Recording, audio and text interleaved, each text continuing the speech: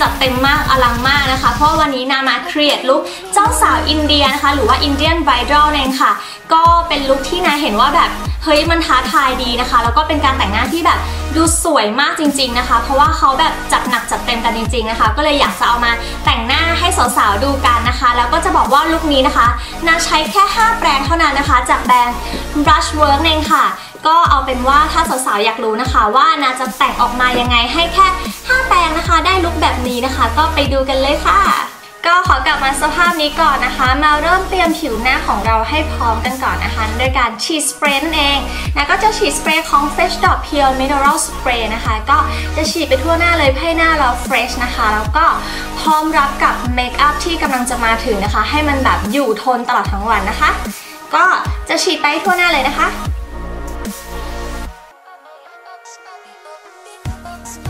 ต่อมานะคะนะก็จะใช้ไพรเมอร์ของ Wet n Wild นะคะ ตัวนี้ก็จะช่วยในเรื่องของการคุมมันแล้วก็ทำให้เครื่องสำอางของเรานะคะ อยู่ติดทนตลอดทั้งวันแบบสุดๆนะคะ ก็จะแต้ม5จุดแล้วก็ทาไปทั่วใบหน้าเลยนะคะ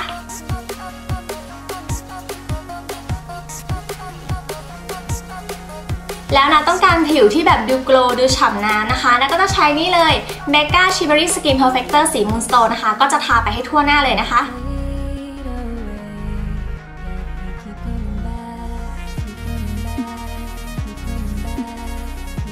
จากนั้นนะคะนะก็จะทารองพื้นเลยค่ะด้วยนี้เลยนะคะ Royal Infallible นะคะ สี Radiant Beige ค่ะ กับแปรงแต่งหน้าของ Brushwork นะคะ บอกได้เลยว่าสัมผัสแรกขนเขาคือนุ่มมากจริงๆนะคะ เพราะว่าเขาเป็นแบบขนธรรมชาตินะคะ แล้วก็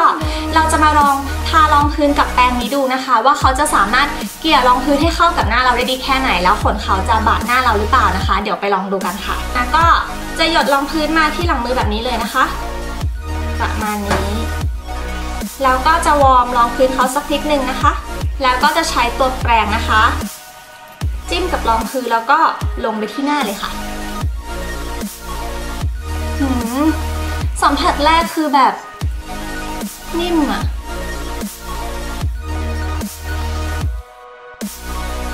นาจะไม่ใช้วิธีลากนะคะ นาจะใช้วิธีกดเอาค่ะ เพื่อให้เนื้อรองพื้นเข้ากับผิวได้ดีกว่านะคะ คือจะบอกว่าลงรองพื้นได้เร็วมากนะคะ ด้วยความที่แปรงเขาแบบค่อนข้างจะใหญ่นะคะแล้วก็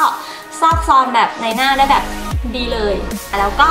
ที่สำคัญเลยขนแปรงเขานิ่มนะคะ ไม่บาดหน้าเลยนะคะแล้ว ดูนี่ค่ะ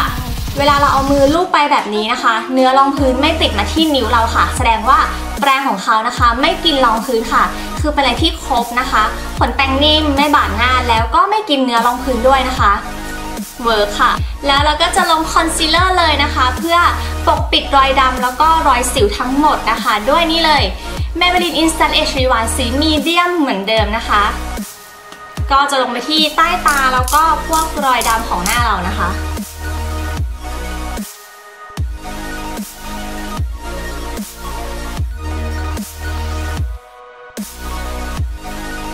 แล้วก็จะมาลงด้วยแปรงคอนซีลเลอร์ของเขาเลยนะคะ ก็มีขนาดเล็กพอดีนะคะ ที่สามารถลงเฉพาะจุดหรือว่าจะเกลี่ยให้ทั่วก็ได้นะคะ ก็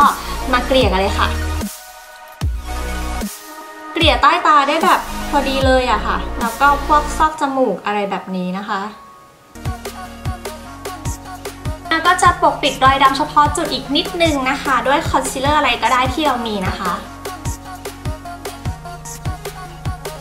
แล้วก็ใช้แปรง conceal นะคะ กลบเหมือนเดิมค่ะ วันนี้เราต้องการงานผิวที่กริบจริง ๆ นะคะ เพราะฉะนั้นต้องค่อยๆใจเย็นๆนะคะ แต่ว่าผลลัพธ์ออกมาเนียนสวยแน่นอนค่ะ สิวหายไปเลยอะค่ะ โอเคเลยก็แปรงลงคอนซีลเลอร์นี้นะคะนะถือว่าโอเคเลยนะ เพราะว่าเขาจะแบบ conceal บริเวณใต้ตาเราเข้าแบบพวกซอกเล็กๆ ได้แบบดีเลยนะคะ แล้วก็กลบพวก รอยดำรอยแดงของสิวได้แบบ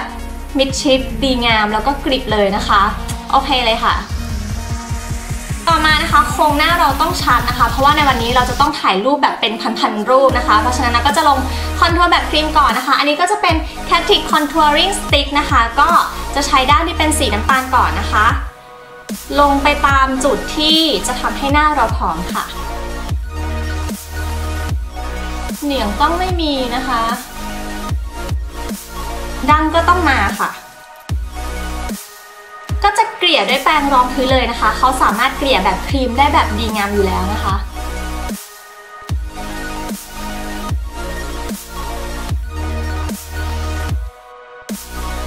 แล้วนะก็จะใช้อีกด้านหนึ่งที่เป็นไฮไลท์นะคะ ลงที่จุดไฮไลท์ของหน้าเราเลยค่ะ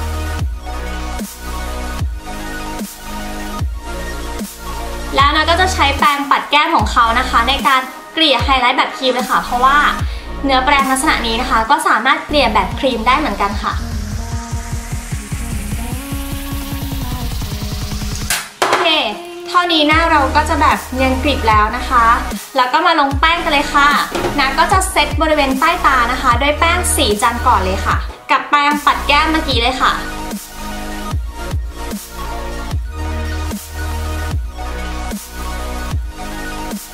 ก็เซตด้วยแป้งฝุ่นเสร็จแล้วนะคะ ถ้าใครโอเคเท่านี้ก็ไปขั้นตอนอื่นได้เลยนะคะ แต่นารู้สึกว่าในวันนั้นเนี่ยหน้าเราควรจะต้องแบบเนียนกริบห้ามแบบมีจุดบกพร่องแม้แต่นิดเดียวนะคะ เพราะฉะนั้นนะก็จะเซตหน้าด้วยแป้งผสมรองพื้นเพิ่มค่ะนะก็จะใช้แป้งจากแบรนด์มิโซนะคะ ก็เซตไปให้ทั่วหน้าเลยนะคะโอเคค่ะ ตอนนี้ผิวหน้าเราก็แบบขาวเบอร์ใหญ่ไฟกระพริบมากนะคะ เราต้องการมิติให้กับหน้าเราเพิ่มขึ้นค่ะนาก็จะลงคอลเลกชันนะคะ Contouring Kit ค่ะ ก็จะใช้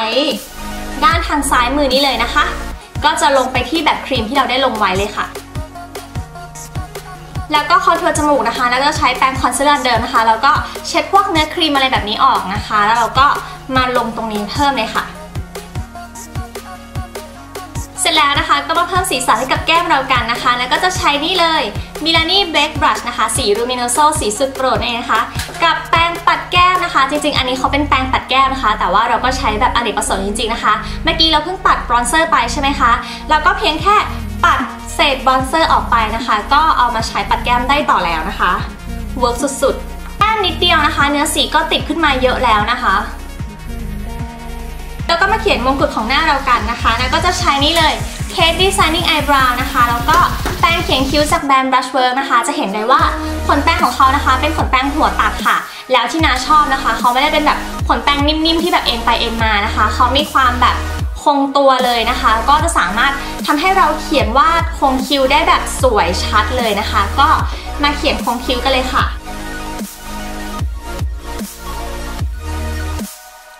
แล้วเราก็จะใช้นิ้วมือของเรานะคะ blend ที่หัวคิ้วนิดนึงค่ะ เพื่อให้ทุกอย่างแบบมีความแบบไล่สีกันนิดนึงนะคะ แล้วก็มาปัดขนคิ้วนะคะ ด้วยมาสคาร่าจากคอลเลกชันนะคะ Eyebrow Mascara สี brown ค่ะโอเคค่ะ ก็มาแต่งตากันเลยนะคะนาก็จะใช้นี่เลย primer ตาของ Too Faced Shadow Entrance นะคะ ก็ทาที่บริเวณเปลือกตาทั้งสองข้างเลยนะคะเสร็จแล้วนะคะนาก็มาแต่งตาด้วย palette ทัชทิสโปนะคะ กับแปรงแต่งตาของ Brushwork นะคะ ก็ เป็นแปรงแบนแบบนี้นะคะ เขาก็จะเหมาะสำหรับการแท็กสีตาลงบนเปลือกตาของเราเองค่ะ แล้วก็จะใช้สีนี้ก่อนนะคะ เป็นสีขาวเนื้อ matte ค่ะเสร็จแล้วนะคะ แล้วก็จะใช้แปรงคอนซีลเลอร์นะคะ เอามาเช็ดกับกระดาษทิชชู่นะคะ ให้สีคอนซีลเลอร์ออกไปนะคะแล้วก็จะเอามาสร้างเบ้าตาของเราเองค่ะนาก็จะพยายามดึงเชฟออกไปทางหางตาแบบนี้นะคะ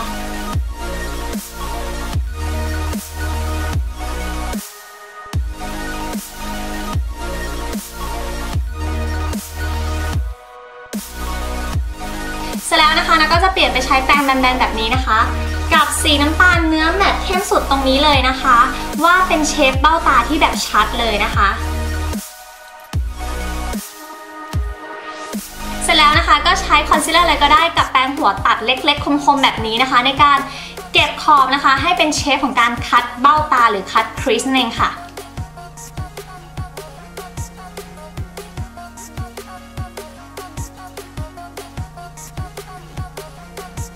เก็บรายละเอียดเสร็จแล้วนะคะ ก็จะได้ประมาณนี้ค่ะ เสร็จแล้วนาก็จะใช้แปรงแบนนะคะ กับสีขาวเนื้อ matte นะคะทาทับไปตรงบริเวณที่เราได้ลงคอนซีลเลอร์ไว้ค่ะ เสร็จแล้วนะคะแล้วก็จะใช้สีทองตรงนี้ค่ะ ทาทับไปตรงสีขาวที่เราได้ลงไว้นะคะโอ้แพ็คสีได้ดีมากอะแล้วก็อย่าลืมโคนขนตาล่างด้วยนะคะ ก็จะใช้สีที่เราคัดเบ้าไปนะคะ กับโคนขนตาล่างเลยค่ะ เสร็จแล้วนะคะนะก็จะทากลิตเตอร์ไปทั่วเปลือกตาเลยนะคะ ด้วยนี่เลยค่ะเลบลอน Photo Lady IR สี Burnish Spring นะคะ ก็จะใช้ด้านที่เป็นกลิตเตอร์ของเขานะคะ ทาให้ทั่วเลยค่ะ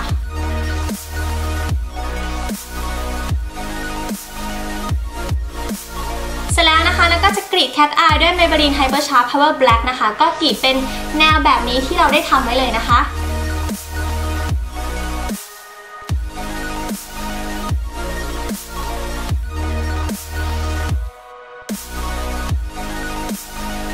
แล้วก็เขียนขอบตาทั้งด้านบนและด้านล่างเลยนะคะ ด้วย Intuit Supreme Waterproof สี All Black ค่ะ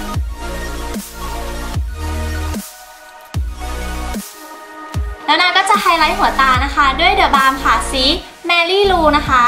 ใช้กับนิ้วมือของเราเนี่ยแหละค่ะ แล้วก็ clean รอบๆดวงตาสักนิดนึงนะคะ ใช้สีขาวอันเดิมค่ะเสร็จแล้วนะคะแล้วก็จะดัดแล้วก็ปัดขนตาเลยค่ะนะ ใช้ที่ปัดขนตาของ Maybelline The Glossy Push Up Drama นะคะ ก็จะปัดให้เยอะที่สุดเท่าที่จะเยอะได้เลยนะคะ แล้วเราก็จะไปติดขนตาปลอมกันนะคะน่าจะติดขนตาปลอมของแบรนด์ แมนชองเองค่ะ ก็เป็นแบรนด์ที่ไปเจอที่ตลาดนัดที่เชียงใหม่นะคะ ก็เป็นของถูกและดีมากๆเลยค่ะ ก็เดี๋ยวจะไปดัดปัดแล้วก็ติดขนตาเลยนะคะ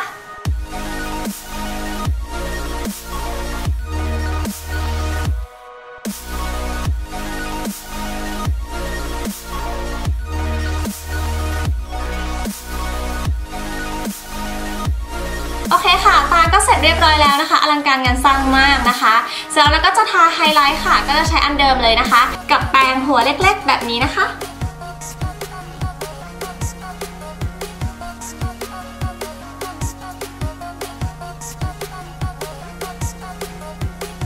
ผิวหน้าก็เสร็จเรียบร้อยแล้วนะคะ มาที่อย่างสุดท้ายเลยค่ะ ก็คือการทาสีปากนี่นเองนะคะ วันนี้สีที่เราจะทาเป็นอะไรไปไม่ได้ นอกจากสีแดงสดๆเลยนะคะ นะก็จะใช้จาก Intuit นี่เองนะคะ ชื่อสีว่า Crimson นะคะ ก็จะทาลงไปเลยค่ะ ก็จะเป็นแบบสีแดงแบบนี้เลยนะคะ จัดเลยค่ะ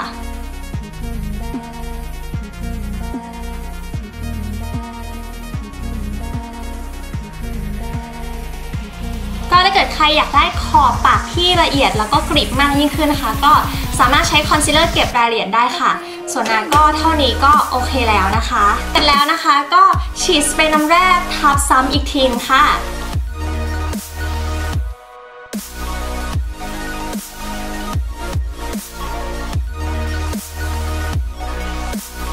นี้นะคะนาเชื่อว่าสาวๆแต่งตามกันได้ไม่ยากนะคะ แต่ว่าอาจจะต้องใช้ความใจเย็น แล้วก็ใส่ใจรายละเอียดนิดนึงนะคะ เพราะว่าเป็นการแต่งหน้าในวันสำคัญที่สุดในชีวิตผู้หญิงนั่นเองค่ะ แล้วก็ลุคนี้นะคะ นาใช้แค่ 5 แปรงเท่านั้นนะคะ ก็คือเซตนี้เลยนะคะ เป็นเซตแปรง พื้นฐานนะคะจากแบรนด์ Brushwork นะคะ ก็จะเห็นได้ว่าเป็นแปรงที่คุ้มค่าจริง ๆ เลยนะ ควรมีติดโต๊ะเครื่องแป้งเอาไว้นะคะ แล้วก็ถ้าสาวๆ อยากไปลองเล่นนะคะ ก็ไปดูได้ที่ Eve and Boy Stardust Luscious Beautium อะไรแบบนี้นะคะ แล้วก็ถ้าเกิดให้นาเลือกหนึ่งแปรงจากเซตนี้นะคะ ที่นาชอบมากที่สุดนะคะ ที่นาอยากจะ recommend สาวๆ นะคะ ก็คือแปรงอันนี้เลยค่ะ คือแปรงรองพื้น การที่เราจะหาแปรงรองพื้นที่ดีสักแปรงนึงเนี่ยหาค่อนข้างจะยากนะคะ แล้วก็อันนี้เป็นอะไรที่ตอบโจทย์มากจริง ๆ นะคะ คือขนนุ่มนะคะ เกลี่ยง่ายเกลี่ยเร็วนะคะ แล้วก็ที่สำคัญเลยไม่กินเนื้อรองพื้นด้วยนะคะ เป็นอะไรที่แบบ perfect มากนะคะเนื่องเชื่อว่าการลงทุนกับแปรงดีๆสักเซตนะคะ เป็นอะไรที่คุ้มมากจริงๆนะคะ เพราะว่าแปรงเขาเนี่ยถ้าเรารักษาเขาดีๆนะคะเขาสามารถอยู่กับเราไปได้แบบถึง